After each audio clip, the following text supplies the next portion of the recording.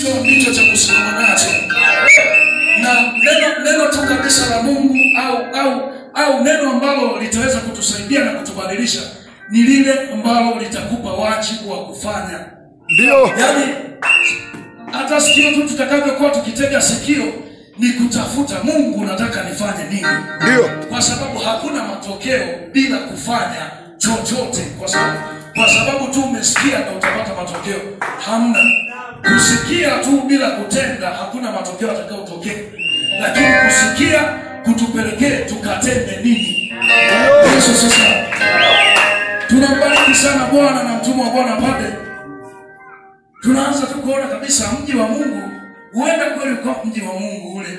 Kwa sababu hata ibada zinavyofanya pale mkianza kuimba wimbo wa kuabudu hapana kinanda wala drum. Ndio. lakini wimbo ukianza kuimba wimbo wa kuabudu ni mtasa Saa moja. Utainuka unakuta wimbo bado naimbwa Ndio. Uta- utainuka unakuta wimbo bado naimbwa ni wimbo unaimbwa. Kila mtu huko kwa tafakari huko. Kazama wengine huko. Wanakubujika wimbo hakuna kinanda wala, wala Sawa. lakini wimbo unaweza ukaimbwa saa moja. Ndio. saa moja. Wala biti biti biti unaona hili biti sasa ndio linaisha mapema ngoja tuliweke pembeni. Tuna mabiti ya kuzaliwa. Ndio. haya mabiti ya kuzaliwa haya. Ndio unayapiga. kwa hiyo tu tunambariki bwana sana. Ndio. tunambariki bwana sana hata wakati huu. Wakati huu tunaenda kumwabudu mungu.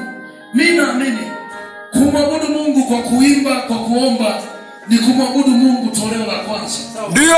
Ni kumwabudu mungu kwa aina hii kuomba kuimba kufanya chochote kusikiliza kutupelekee kwenye kutenda Ndio. yaani hii kuomba naomba kwa nguvu lakini ni toleo la kwanza Ndio. ambalo lilifanye haya maombi anipe wajibu wa kwenda kufanya niende sasa kwenye maombi toleo la pili e, niende kwenye maombi toleo la pili maombi toleo la pili ni yale maombi unapoingia kuomba unaomba kwa tafakari.